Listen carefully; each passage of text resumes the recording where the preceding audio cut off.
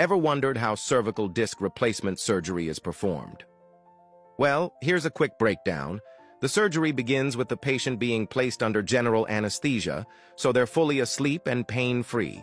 The surgeon then makes a small incision in the front of the neck to reach the affected cervical disc. Using advanced imaging, the damaged disc is carefully removed, and the space is prepared for a new artificial disc made of metal and plastic.